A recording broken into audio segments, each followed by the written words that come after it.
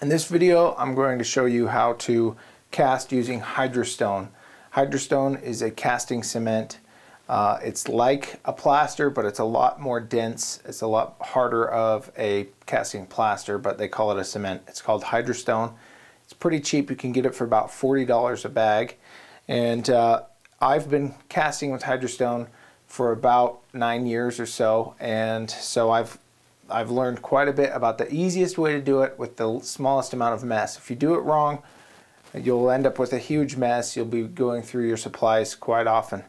Um, and so I've refined it and I want to show you how I do it. So the first thing you want to do is when you get your mold or whatever it is, you want to know how heavy, when it's dry, how heavy it is. And so it's gonna, you're going to have to cast uh, a couple to get to the point to where you can know exactly how heavy the item is when it's fully dry. And then what you want to do is um, separately, um, in, in, all in just one sitting, bag equal amounts. So this, this uh, sculpture here that we're going to be casting is two pounds and uh, dry. And so I have pre-bagged a whole bag of hydrostone, which is 100 pounds. So I've got 50 plastic bags just like this and you'll see exactly why I do it this way. Uh, the mixing ratio for hydrostone is three parts hydrostone to one part water. And so I've got 11 ounces here of uh, marked on my beaker so that I have it so I don't have to weigh when it comes time to actually casting. So pre-weigh all of your bags or all of your measurements for the for the powder. And then just put a mark on your beaker. And so you want to use gloves. When I first started doing this I was using my bare hands. And uh, hydrostone does get very hot and it will leave kind of like chemical burns. It really scarred my hands up quite a bit. So I recommend wearing gloves. But now that I've got this so refined these are almost uh, almost useless. I used to get hydrostone all over me, powder everywhere. Okay, so first thing you want to do is measure out the water. So it's easier to do this rather than pour a tap, pour it from the tap because you can be a lot more precise in how much water you're going to add. Okay, so we have it there. And then what I do is this bag was sealed. I was experimenting with this. So I sealed the bag. You don't need to seal the bag. I was just trying to see different ways of storing hydrostone. You don't really need to seal it. So anyway, you just pour it directly in. And I like to pour it against the wall of the bag so it doesn't kick up hydrostone. Okay. And then what you want to do is pinch it and get all the air out and then tie it, tie a knot up high on the bag. I usually do this part without gloves, but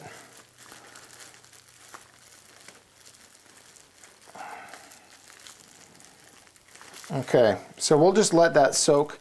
And usually when I'm casting, I, I'll do several bags. I've got several molds of the exact same sculpture.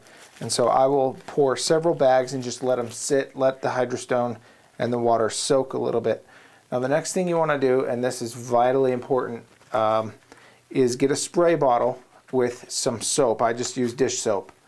And I didn't measure, I just poured in what I thought was a generous amount of dish soap and then put in some water and what this does is this will eliminate bubbles in your mold.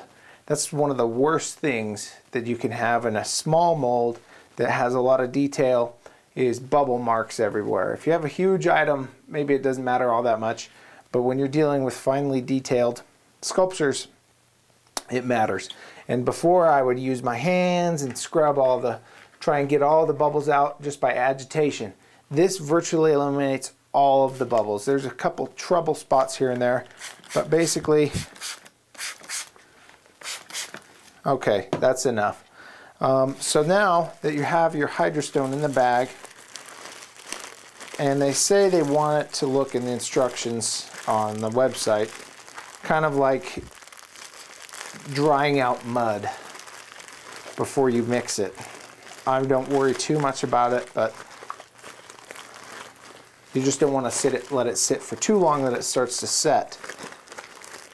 But you want the moisture or the water to fully penetrate the hydrostone before you cast it. And so you just work the bag. Now before I used to use plastic bowls and I'd be smearing around and swirling. Um, this way I can wear my nice clothes. I don't splash hydrostone everywhere. Okay, doesn't feel like there's too many lumps left. So then basically what you do is you grab a corner of the bag, just one of the bottom corners,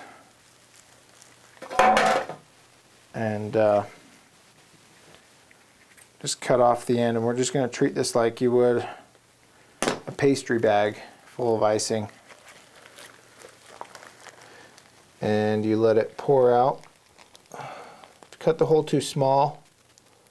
You might have some problems.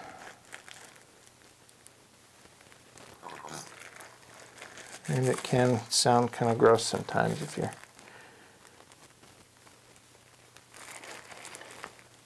So as you can see, I'm not really worrying about, before I would be rubbing my fingers all over this, make sure I get all the bubbles out. When you spray that soapy water in,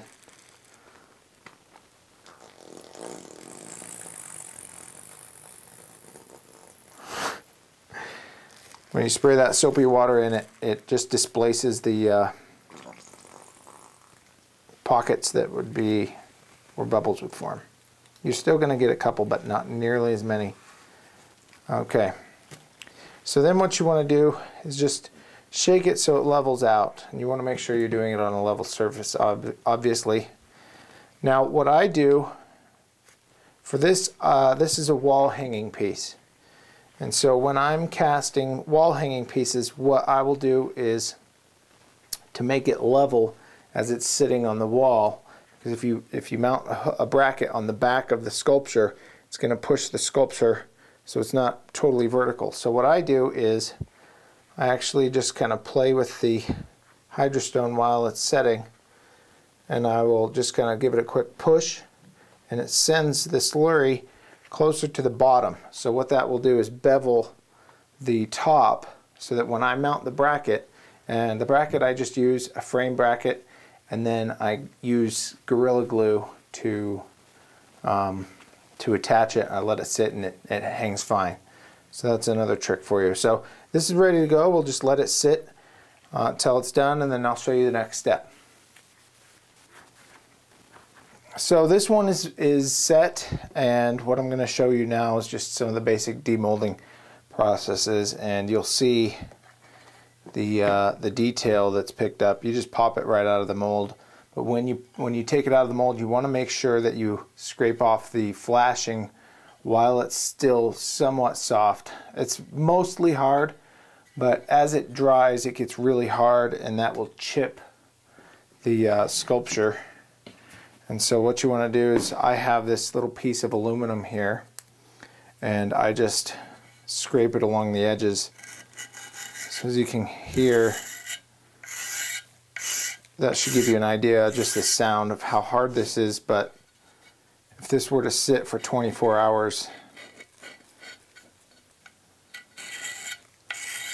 then it would uh, be a lot louder of a noise and a very hard and you could get chip marks. But taking off this flashing prevents dings that will spread across the whole piece of art. So just round off the edges. Then it does need some time to dry depending on the weather, depending on where you're doing it. And so it's just helpful to know what the weight was of the powder that you put in so you can get a general idea of how much moisture is in there before you pack it.